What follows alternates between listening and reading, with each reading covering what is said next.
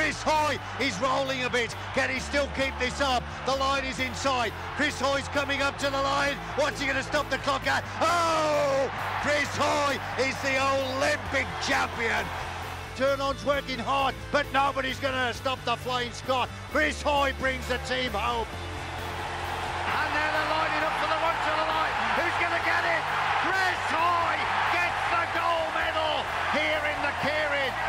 his sixth gold medal. He becomes the greatest achiever ever.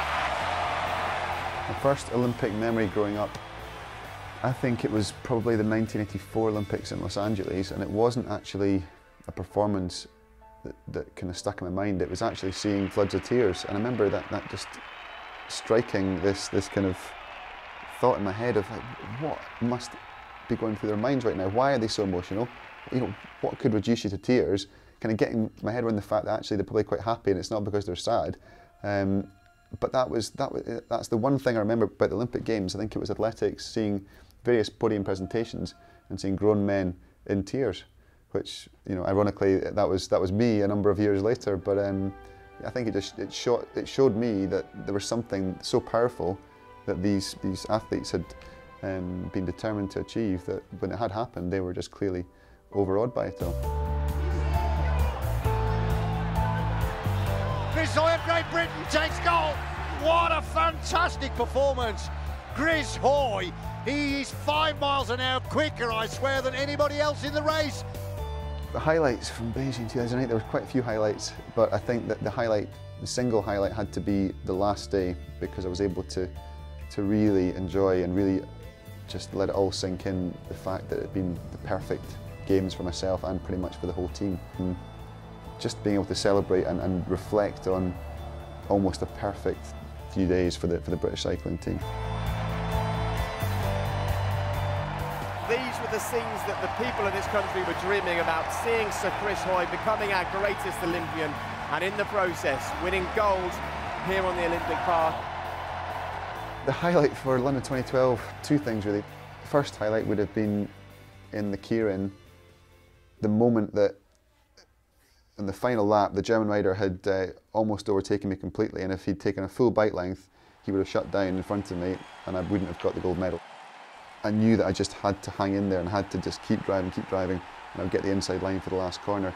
And it was that moment when the sort of momentum shifted in my favour, and I started to come back at him. Feeling when you cross the line, there's and that roar from the crowd, the support, there was nothing like it.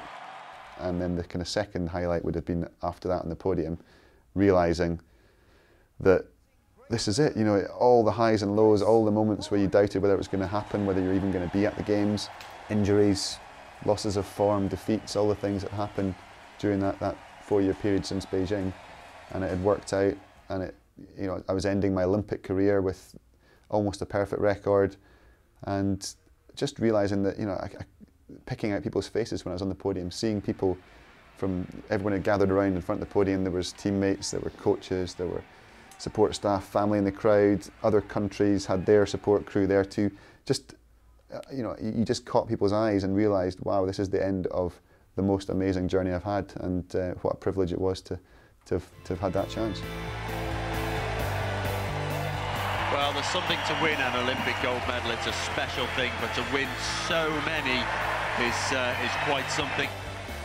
I knew that would be my last Olympics, definitely, but I was hoping I could, continue on to uh, to Glasgow for the Commonwealth Games because that would have been very nice to finish off with a home Olympics and then a home Commonwealths. But you know, the, in a purely or not purely physical, but such a huge proportion of the performance is down to physical output in cycling that you know you have to be 100%. If you're 99%, you're not going to get a medal, let alone a gold medal. So I knew that having got back into training following London, I'd got the best out of myself, and I, I wasn't going to be able to continue for another two years at that level. It was a tough call to make.